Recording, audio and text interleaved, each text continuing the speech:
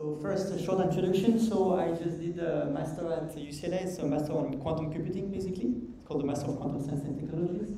Then this summer, I was working at the United States Air Force Research Lab, uh, doing research on just photonics, computing, and this kind of stuff, exactly the beam splitter that we're talking about.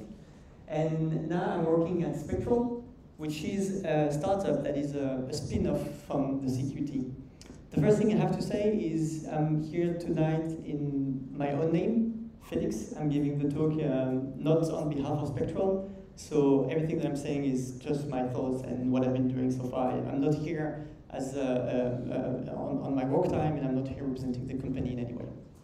Also, I just started the job, so anyway. Um, I want to give you some motivation on quantum communication. So just so you can realize also what happened, we just showed you the Shor algorithm that is pretty famous that can manage to you know, um, decompose uh, prime numbers in, in very quickly, which is a big threat to the current system of cryptography. And this is why it's motivating new way of doing encryption. So you have the post-quantum cryptography or you have the quantum key distribution that we also mentioned.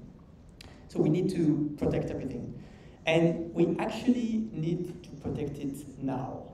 Why? Because even if a quantum computer arrives in 20 years, what can happen is someone listening to our current communication right now, the communications are encrypted, store the information.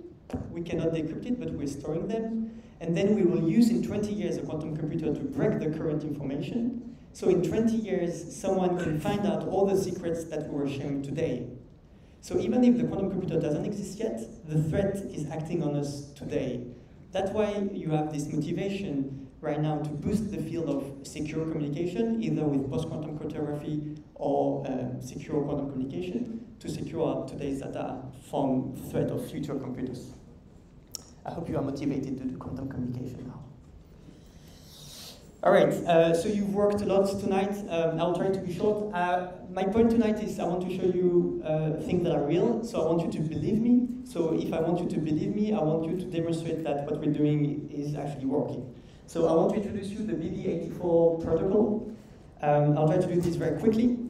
Um, you know, a photon, uh, light can be a wave, so it's uh, an undulation. So you have the direction of propagation of light, but you also have the direction of the oscillation of light.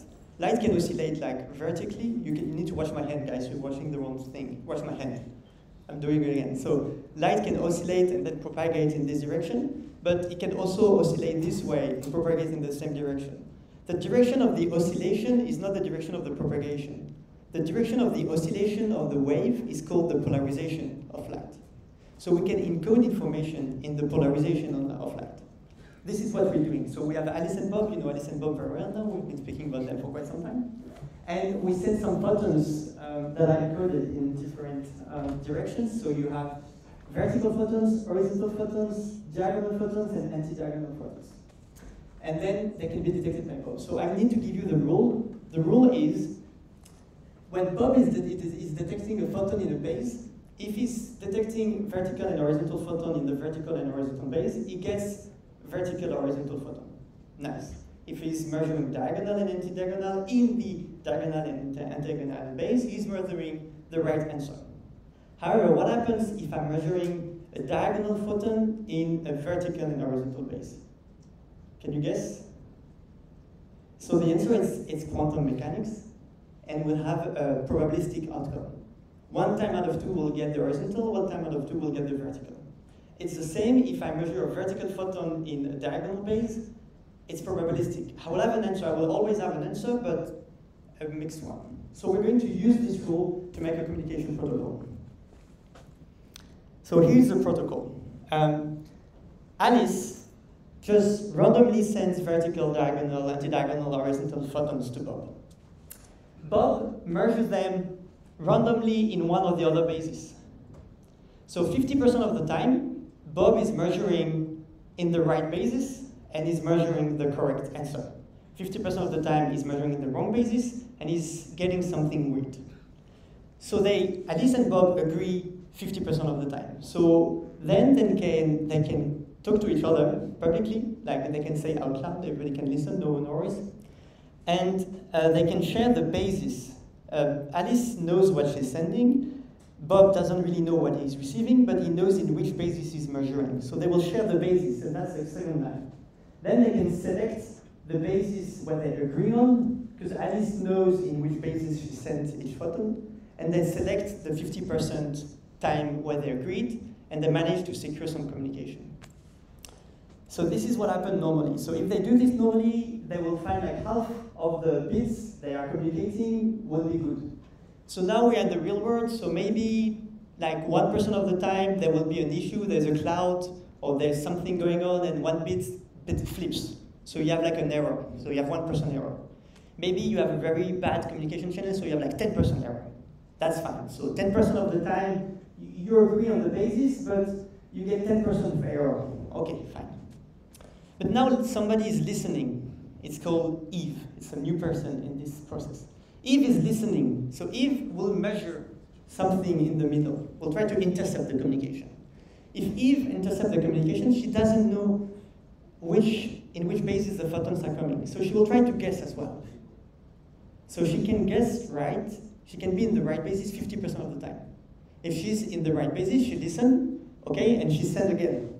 And we cannot notice because she's sending the same thing. Now, if she's in the wrong basis and she listens, she will receive something, she will send something new, and this something new, when we will receive it in our basis, there will be 50% of chance that it clicks to the right direction and 50% of the chance that it will click in the wrong direction. Maybe I can give you an example. I'm sending a vertical photon Eve is measuring it in the wrong basis, in diagonal. She clicks on diagonal. She sends diagonal because she believes it's a diagonal photon. Now, I measure it in vertical basis. And the diagonal clicks on the vertical. So I cannot know that Eve listened because Bob is sending a, a vertical, I'm receiving a vertical. I didn't know someone was in the middle. But 50% of the time, when this diagonal photon is arriving, it used to be a vertical one, now it's a, a diagonal one. Now I'm clicking horizontal. Oh, there is error. So Eve measured in the wrong basis 50% of the time. And when she measures in the wrong basis, she has 50% chance that we don't notice. So there is 25% chance that we notice that she listened. So when we compare our bases, if we see the error rates going above 25%, it means that someone is listening to us. And if someone is listening to us, we have lost the security of our quantum communication. This is quantum key distribution. It's a way to notice that someone is listening to us, and it relies on the fact that the measurement destroy the quantum state. I hope you have followed here so far. Thank you very much for this. This was, this was theory. I hope you believe me now. It's working very well. So we're going to see implementation. So everybody's trying to do quantum key distribution. It's simple. You send photon one by one. Okay, you need a laser, you send photon, photon, photon with this protocol, and you send it through optical fiber. So I'm showing here actual real-world implementation. I don't know if you're aware of this, but China is actually leading the race of quantum communication very well. And they have built all around China a huge connection of optical fiber, a huge network. It's called the quantum internet, when they can use quantum communication uh, protocol to, to talk to each other. The US is trying to catch up. Um, you have a plan to do some experiments in Chicago on the top. You have this is New York on the on the right. Um, it's actually happening right now. Uh, the one in New York is running, so they're sending quantum states and doing quantum communication. And on the top you have Washington. As you can see, these uh, test beds in the US are much smaller than the one in, in China. And in the middle, I'm showing you companies. ID is um, a Swiss company Quantenna is a company in Israel. Toshiba, you know, Toshiba is actually have very important efforts in QKD, and QNX is a company in York. It's happening right now. It's already happening now. It's an industry, and people sell this kind of quantum communication device to some clients, banks or governments that want to protect data. So what is the issue? The issue is optical fiber have absorption. Very, very low one, but it's absorption zero. On the left, you have a graph the, um, the axis is the wavelength and the vertical axis is the loss. So you can see that at some 15, um, 50 nanometer wavelengths, you have a very low absorbance. This is what we're using to do um, optical um, fiber communication. The absorption is uh, 0.16 dB per kilometer, so you lose 3.6%, 3.6% every kilometer, which is, if you do it after 100 kilometer, you, you are left with 2.5% of your original signal. If you do it for 200 kilometer, you're left with 0.06% of the original signal, which is fine when you want to just do classical communication because you can just send big amount of light and we can repeat it. You just, every 100 kilometer, you listen to it and you send a new signal again, which is more powerful. But as you know, in quantum communication and in quantum, measuring a state destroys it, so we cannot use quantum repeaters, so we have to maintain it. The other issue is we are not communicating with like thousands of photons, we're communicating one photon by one photon. And now you're sending one photon for 200 kilometers, you have 0.06% chance that the photon is arriving. That's really an issue. So the solution is actually very simple. If you want to do more than 200 kilometers, you have to go to space. And this is why we build space quantum satellites. So this is SpooQy 1. It's a satellite that was built here in NUS. On the left, you see how you prepare the photons. It's actually very, very simple. Uh, you have a laser somewhere, you have some cubes. You see the cubes are like glass material. You have some um, uh, optical components to direct the photons. And you produce the photon one by one, and you can do this. Um, and you can see what is the size of this satellite on the right. And you know what happened to this satellite? It went to space for some testing. Here it is. You have quantum physics in space with a laser. I don't know how cool is this, but it's pretty cool. The next step is to have a communication with the ground. So you have a laser shining this photon to the ground uh, when they pass by. On the right, you have a telescope trying to get these photons that you are sending. Once again, you're sending photons one by one. So you have to be able, with your telescope, to detect one photon coming one by one. So currently it's working only at, night at nighttime when you don't have moon. So it's not very often and you need to be very close to the perpendicular axis to measure these photons. But it's still working. We can send some 10 kilobits uh, of uh, secure keys every time we pass. And this is the current field of the technology. And the, less, the next um, satellites to be launched would be this one. They're going to be launched very soon. They are much bigger, as you can see and it's, um, it's the field of space quantum lasers. And finally, the next step, as you start to understand now, is to do entanglement distribution. So it's to have, because quantum key distribution, as I showed you, didn't rely on entanglement yet. It's the one, the protocol that I showed you, just relied on the fact that if there's a listener, we'll spot him because he will destroy the state. But what you can do is actually distribute entanglement and send one Alice somewhere, like in Singapore, one Alice in, in one Bob in Toronto, with a satellite passing over, and this will make entanglement communication possible on the planet. It's the next step. This is very exciting, and yes, thank you very much for your attention. I hope you enjoyed the ice cream. If you have any questions, I can answer one or two questions, and then I will have maybe a bonus. Does anyone has have questions? Yes.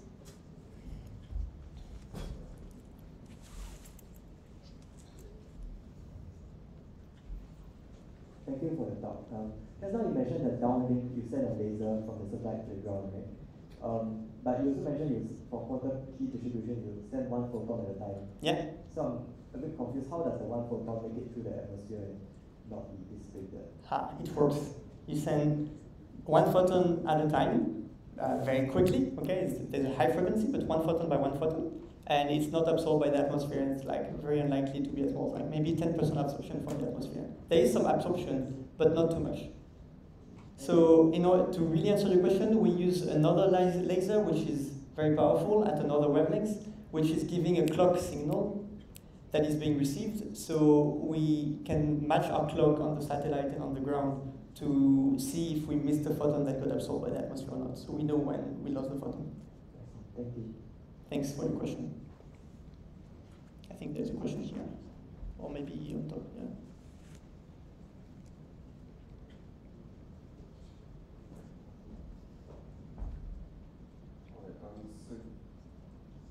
Um, so, you say um, secure quantum communication is like a emerging new market? So the way we say it, so I have a master in quantum technologies. Um, as you may know, it's the second quantum revolution. The first quantum revolution already happened uh, with um, uh, MR, in English you say MRI, uh, GPS and stuff. You need a lot of quantum effects to describe everything. Scanner as well. Second quantum revolution concerns three technologies. Quantum computing, we've seen this today, quantum communication, and actually quantum sensing. So we can use atoms to improve the sensibility of captors. Quantum sensing is already ready, it's working, and it's already commercialized, and it's already being put on warplanes, ships, submarines. It's already happening. Quantum communication is in the industrial phase, so companies are emerging, and it's being deployed. And quantum computing is kind of lagging behind, but it's kind of pushing all the others forward as well because it's like the threat, you know. And also with quantum communication, does it rely on any sort of um, infrastructure that has to be set up, like like the um, optim, optim, like the links? So as I showed you today, you have two ways to do quantum communication. Either you use optical fiber, either you use satellites. You can also use drones, maybe. Okay, drones will go into the satellite uh, category. Optical fiber already exists everywhere on the planet. The networks already exist. Would you say that, uh, do you think, um, given the prospect of where we are technologically, do you think um, the market demand for this sort of secure quantum communication technology would increase? Yes, this is why uh, we have job in our company. Uh, ID Quantique, the Swiss company, was founded um, in 2005, and I think in 2000 or maybe 2008. Um, in 2010, 11, I don't know if you remember, you were young, all of you. There was something called the Edward Snowden papers, when we realized that the NSA was listening to everybody on the planet. When we realized this, the business of ID Quantique selling secure quantum communication just exploded. Everybody wanted to buy some QKD emitters because we want to secure communication. So yes, it's already a business. It has been for 15 years. Thank you. Any more questions? Oh,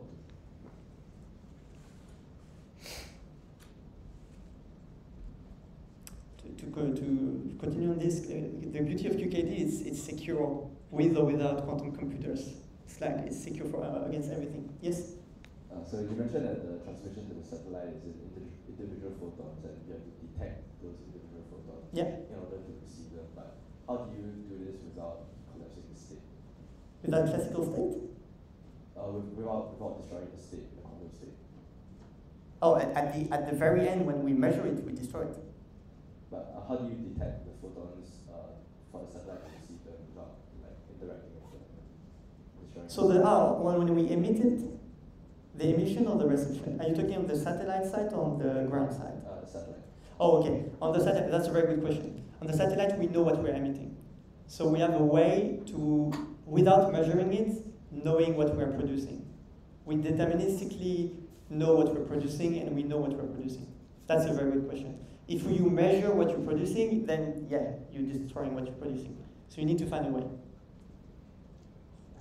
I, I just I was working on this today and it's very stupid. You just have four different sources: the uh, uh, vertical one, horizontal one, diagonal and diagonal, and you activate the one you want when you want one or another.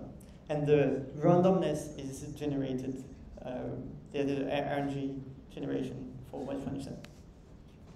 All right, thank you very much. I have a small bonus of one minute. Um, actually, the re- oh yeah, you have another question? Yeah, yeah, yeah, let's go for it. Um, so if I understand correctly, um, so that there's light being transmitted in, in one, one kind of a polarized direction, and then the other one has like a 50% chance of detecting it correctly. But after that, you have to share the key anyway. Yes. So why not share to begin with? No, no, I'm so sorry. You don't share the key. You share the basis.